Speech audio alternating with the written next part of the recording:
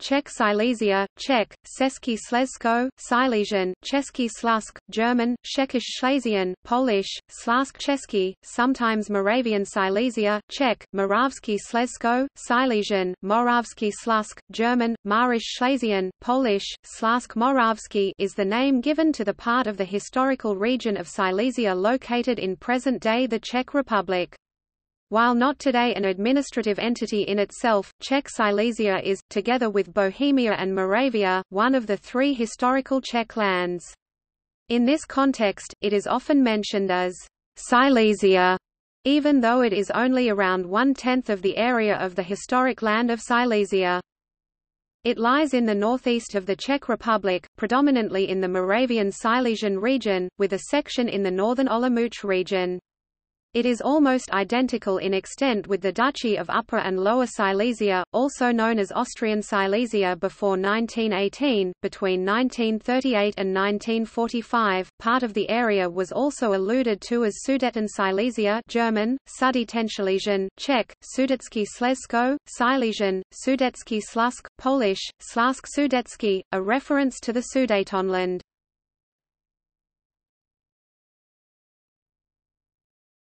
Topic: Geography.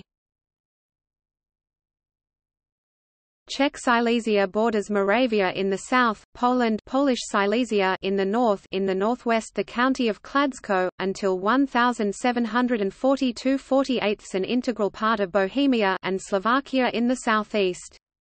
With the city of Ostrava roughly in its geographic center, the area comprises much of the modern region of Moravian Silesia save for its southern edges and, in its far west, a small part of the Olomouc region around the city of Jeseník.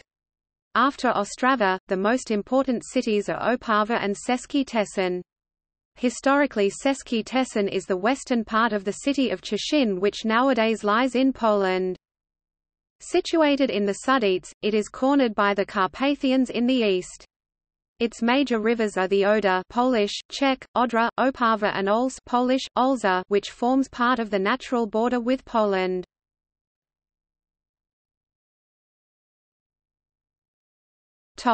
History The first Germanic settlements were built in the 2nd century. Later the Germanic tribes moved west and Slavs came into the country. Modern-day Czech Silesia derives primarily from a small part of Silesia that remained within the Bohemian crown and the Habsburg monarchy at the end of the First Silesian War in 1742, when the rest of Silesia was ceded to Prussia. It was reorganized as the Duchy of Upper and Lower Silesia, with its capital at Opava German, Troppau, Polish, Opawa. In 1900, the duchy occupied an area of 5,140 square kilometers and had a population of 670,000. In 1918, the former duchy formed part of the newly created state of Czechoslovakia, except the Cieszyn Silesia, which was split between Czechoslovakia and Poland in 1920, Czechoslovakia gaining its western portion.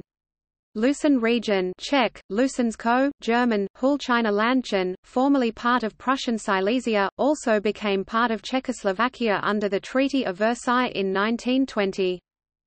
Following the Munich Agreement of 1938, most of Czech Silesia became part of the Reichsgau Sudetenland and Poland occupied the Zaolzie area on the west bank of the Olza the Polish gains being lost when Germany occupied Poland the following year.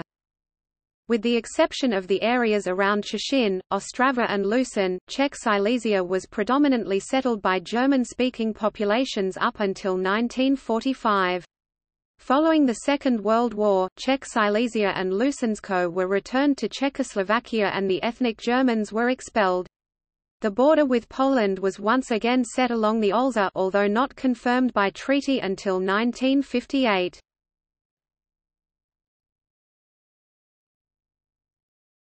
Topic: People. The population mainly speaks Czech with altered vowels. Some of the native Slavic population speak Lach, which is classed by Ethnologue as a dialect of Czech, although it also shows some similarities to Polish.